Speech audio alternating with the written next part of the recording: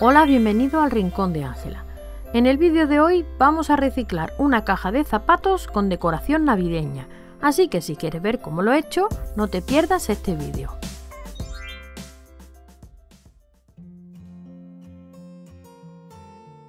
En el trabajo de hoy vamos a convertir esta caja de zapatos en una bonita caja navideña. Para darle más dureza al cartón de la caja vamos a pegar unos trozos de papel de revista o de periódico usando pegamento mate de Coart.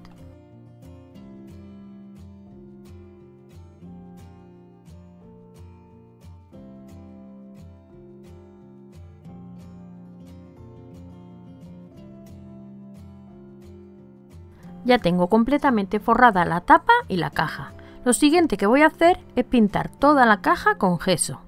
El gesso es una imprimación acrílica que prepara la superficie porosa del papel para que no absorba mucha pintura y además da un color blanco y tapa los colores y las letras de los trozos de revista.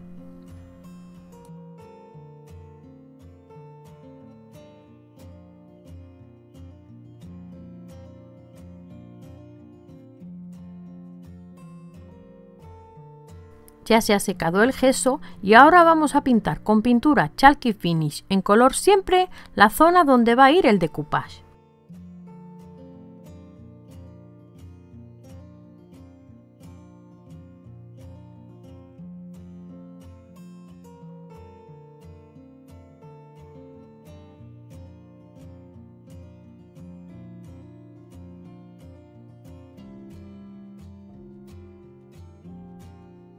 Para este trabajo vamos a utilizar papel de arroz.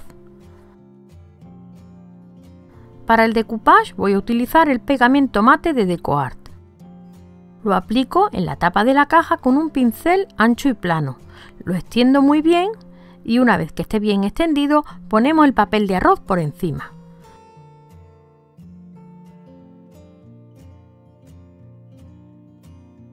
Para alisarlo y quitar las posibles arrugas o burbujas de aire que puedan quedar, aplicamos más pegamento por encima y lo extendemos muy bien. De la misma forma vamos a decorar todas las caras de la caja.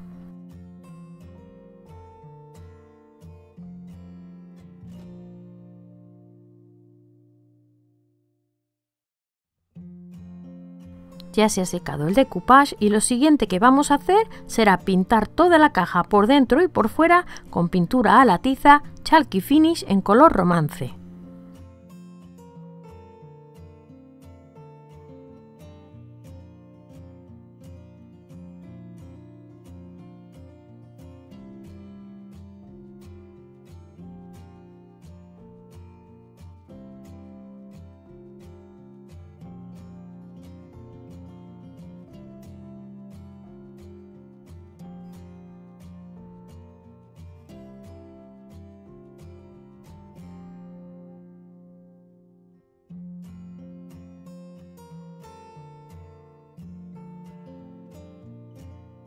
Ya se ha secado la pintura y ahora vamos a hacer unos relieves con pasta de textura en color dorado brillante.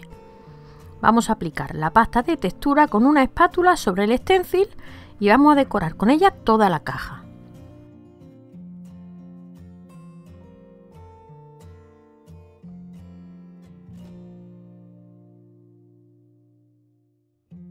Y ya se ha secado toda la pasta de relieve y ahora vamos a aplicar una capa de barniz para protegerlo. Para ello vamos a utilizar el barniz Triple Thick de DecoArt. Este barniz da un acabado de brillo cerámico.